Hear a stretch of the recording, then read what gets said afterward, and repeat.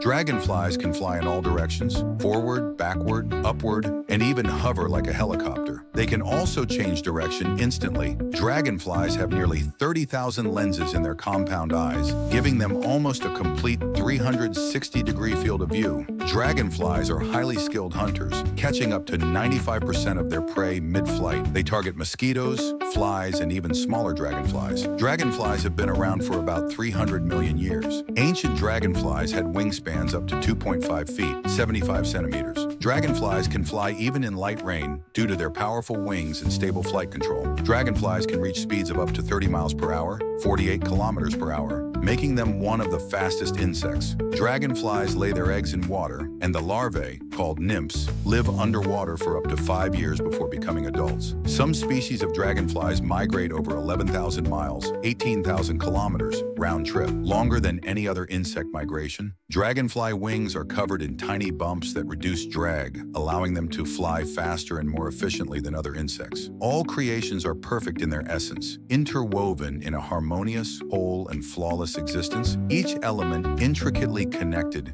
and mutually shaping the tapestry of life.